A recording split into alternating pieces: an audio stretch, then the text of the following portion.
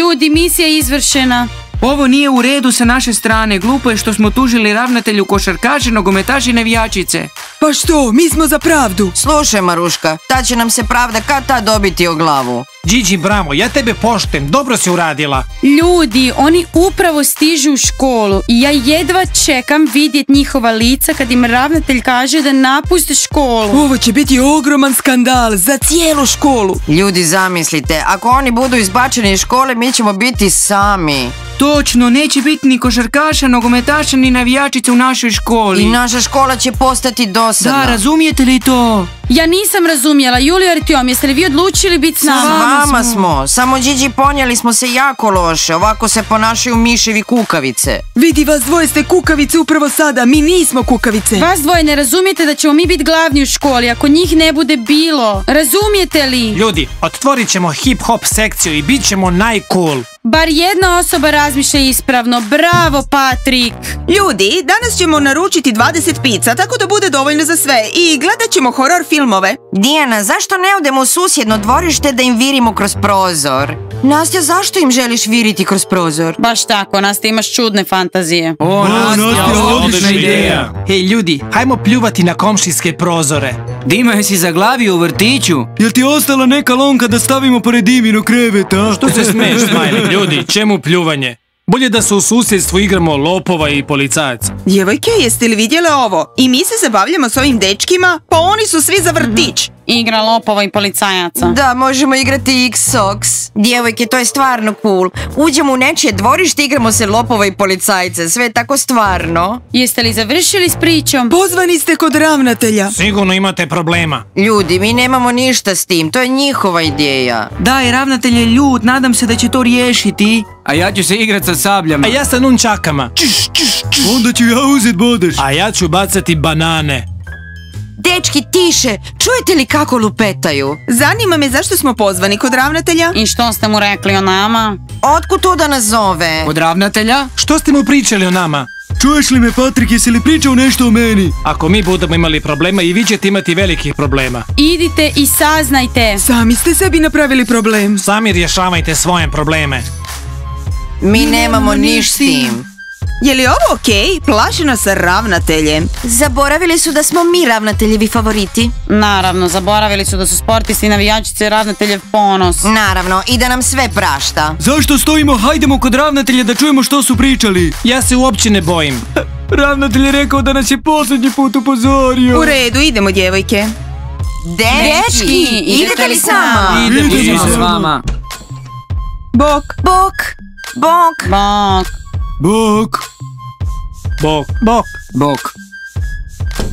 bok navijačice. Tiše ljudi, poslušajte kak će dobit kritiku. Sad će je dobit. A mi ćemo bit cool.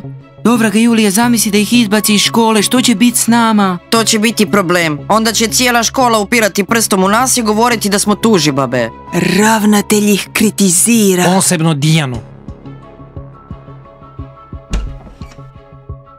I što vam je ravnatelj rekao? Jesu li vas izbacili? Jeste li sretni što je vikao na nas? Što ste to smislili?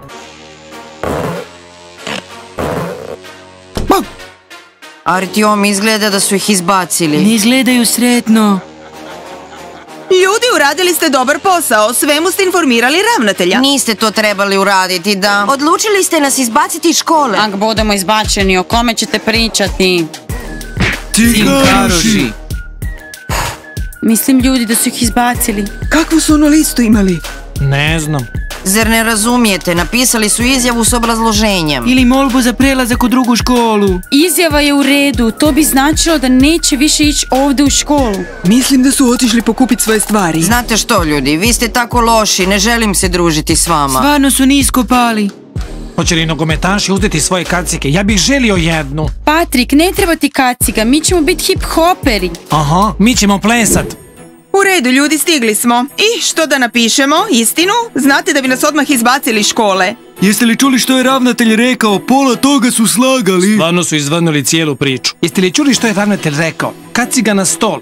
Ja kacigu ne skidam, čak spavam s njom. Ljudi, ne znam za vas, ali ja mislim da je najbolje da napišemo istinu, da je sve to bila Dimina ideja, pa on je postavio izazov da košarka živi s Dijanom. Kostja! Da, Dima, ovo je sve bila tvoja ideja, da znaš. Prestanite optuživati jedni druge, trebamo napisati objašnjenje. Moramo napisati kako je bilo, ali ravnatelj nam neće povjerovati. Točno, zamislite samo kak će ti luzeri biti sretni ako nas izbace iz škole.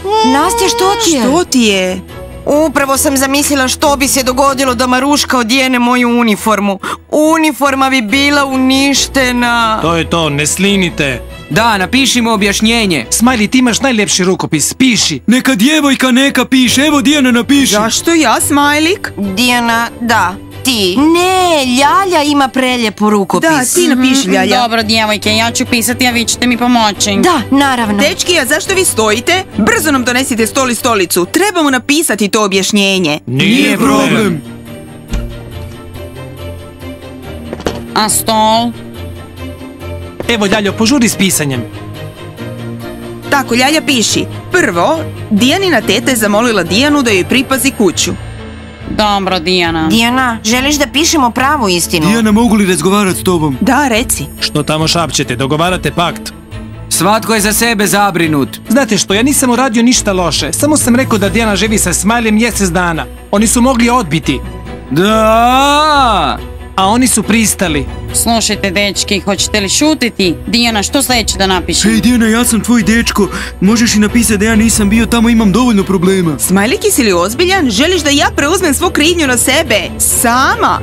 Ljalja piši. Bila je zabava u kući moje tete i svi smo igrali igru boca istine. Ljudi, napišimo da ja nisam bio tamo. Kako to misliš? Jano, rekao sam svojoj mami da idem tjedan dana na natjecanje. Slušaj, brovasti, svatko od nas je lagao svojoj mami, a sada imamo problem i trebamo ga riješiti svi zajedno. Jano, ja sam rekao mami da ću biti tjedan dana kod Kostine baki. Što si ti rekla? A ja sam rekao da idem kod Dimine bake. Najvažnije je da se naše bake ne sretnu. Pa ja sam kao kod Dijane jer su njeni roditelji na putu. Ljudi, je li moguće da sam ja jedina koja mami nije rekla ništa? Ona me sigurno traži. Nastja, jesi li ozbiljna? Ja sam šokirana. Dakle, Ljalja piši. Piši, kada je boca pokazala košarkaša, Dima je smislio izazov.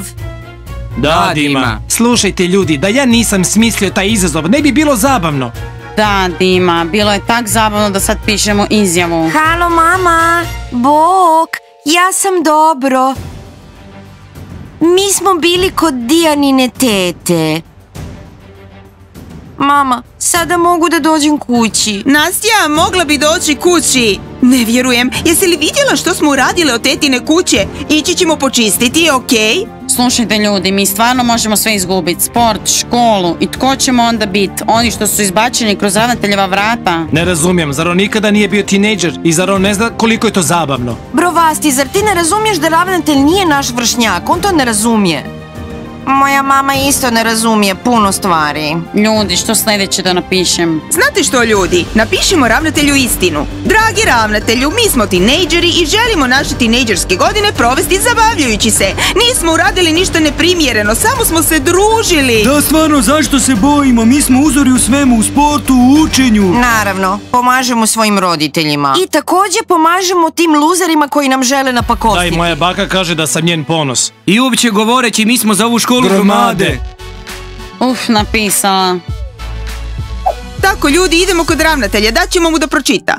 I onda će shvatiti da izbacuje pogrešne ljude. Ljudi, ima nešto što moramo uraditi upravo sad. Ruke svi! Sreća je uvijek na našoj strani. A sada nam treba više nego ikada. Idemo sad. Onda ljudi, prva lekcija u hip-hopu. Ponavljajte sve za mnom.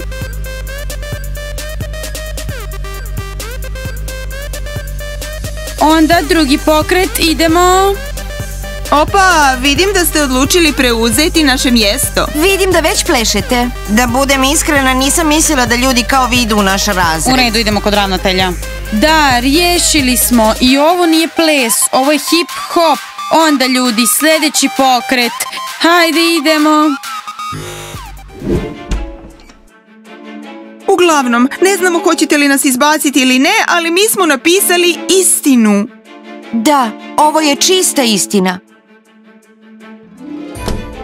Artiom, Artiom, Artiom. Što je Julija, pokušavam ponoviti. Artiom, čuješ li? U ravnateljevom uredu je tišina, neće ih izbaciti. Onda ljudi, hajde, imamo sljedeći pokret. Sviđa mi se hip-hop.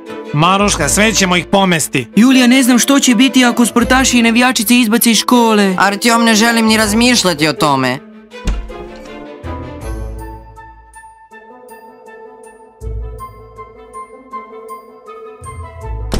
Što je? Što ste stali? Da se pozdravite. Bog, Bog, bog. Ne, mi se ne pozdravljamo. Sve smo ispričali ravnatelju. I ostajemo. Ravnatelj je pročitao naše izjave i znate što nam je rekao? I on je isto bio tinejdžer i savjetovao nas je da se držimo dalje od ljudi kao što ste vi.